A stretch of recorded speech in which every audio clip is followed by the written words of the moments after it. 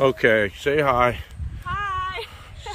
this is my first deer. I never uh, hunting deer before. It's uh, I just I can't believe that I killed her. But um, last one I couldn't find the the blood, so the coyote ate him last. time. Coyotes got So, to her. Yeah.